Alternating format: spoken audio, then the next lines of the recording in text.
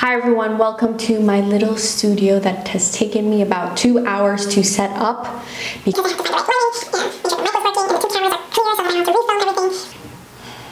Anyways, I am here now and I find myself in a really interesting situation like many other people in the world. I am currently in my second week of quarantine. And aside from the work that I do being a teacher, I have found some time to kind of work on things that I never really had the time for when I was always out. One of the things being that I get to organize the files and folders and photos that I have on my phone and also on my computer. I thought that it'd be interesting for me to share with you my process. Anyways, I think that organizing your files is super important because many people rely on technology nowadays and they just dump it into one place.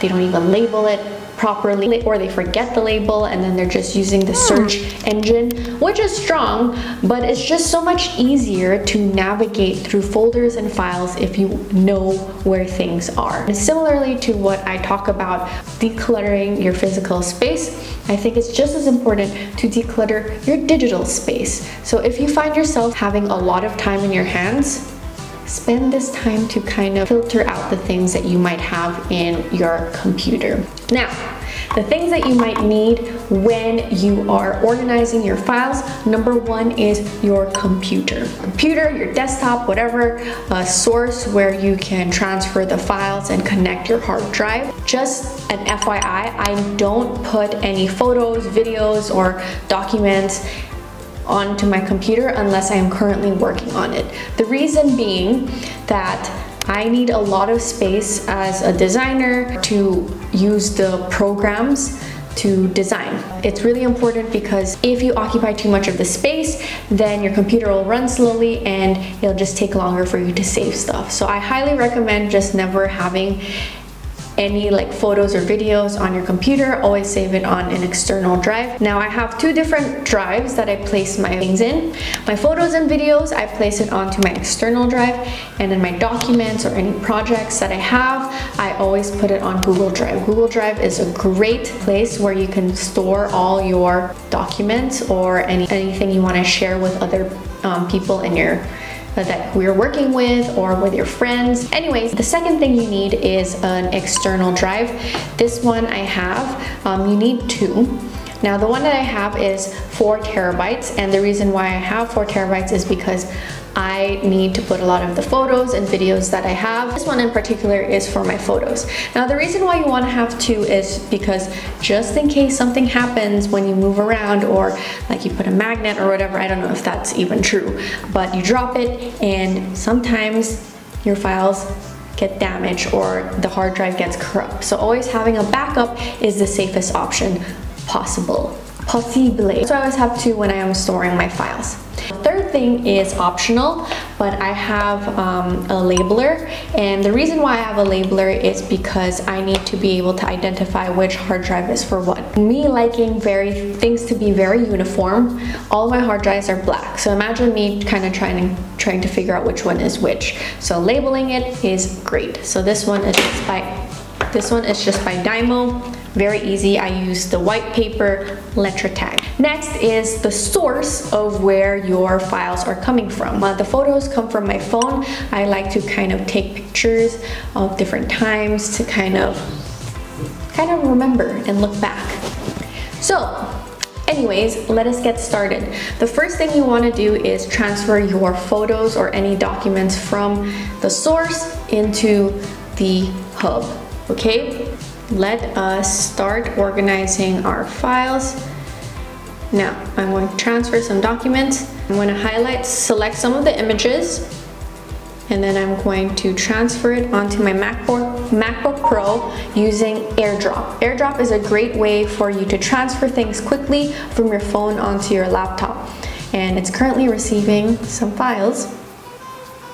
So now that it's received it, I can move on to the next phase.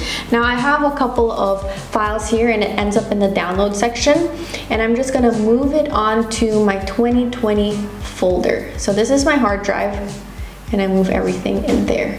Now, just to help you understand, I organize my folders by year and then if there is a very important like moment which requires a lot of photos, that's when I create a new folder. Like for example, I have 700 pictures of my cats and I don't want to sort it through like other events in my life, so I have a cats folder. And I have one called Moments, which is like different random moments in time that I've taken pictures of. And then I have one called Receipts, which is screenshots that I take of funny conversations that I have with people or like funny, like me catching people doing things and then I just giggle and look back and people saying stupid stuff it's all in the receipts folder. Maybe I will share with you some later. All right, so we're gonna organize some of the files. And the way I navigate through it is I press the spacebar so that I can view the file. Here, I have a picture of my cat. Hello, Milo. And I'm gonna highlight it and I'm going to make sure that, yeah, lots of cat, lots of cat videos. So now that I've stopped, I'm going to move those into my cat folder. I'm going to move it there. And then I'm going to move the other stuff into different folders. So here, this is this was actually Kathy's birthday and she was announcing to everybody that she was already engaged. Oh,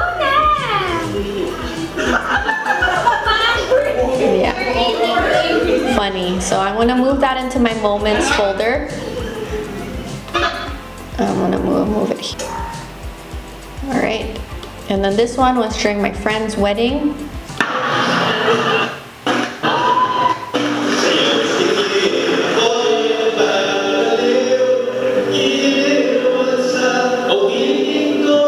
He's singing Harana to his wife. And yeah, that's gonna be my moments because they're only about like three photos. Then you're gonna start labeling things after you've completely moved everything. That's what I mean. And what I do is I just highlight everything and then I rename the files. And then the custom format is basically, um, I'm gonna call it moments because those are moments in time. And then I start with the number one. I do moments underscore and then the number. So now that you've properly labeled everything so that it looks very cohesive and in sync. Yeah, and I just keep doing that and I put into my hard drive and when I'm done, I just close it and make sure you properly eject your files. Um, I move everything back into the trash and then I just eject it properly. You need to eject it properly so that your um, hard drive doesn't get messed up. So that's pretty much it. Oh my gosh, I'm sweating so much. It's hot. I don't have the aircon on because it causes this buzzing sound and I want my sound quality to be good. Hopefully it's good. Anyways, um, that is it for the video. If you have any questions, comments, or suggestions, please let me know in the comment section down below and I'll be sure to try to comment on it. And um, I shall see you next time. Hope you are doing well. Stay safe, stay at home. I just have to thank all the frontliners out there who are fighting for us and making sure that we have a safe space to get out of. So thank you so much and see you next time. Bye.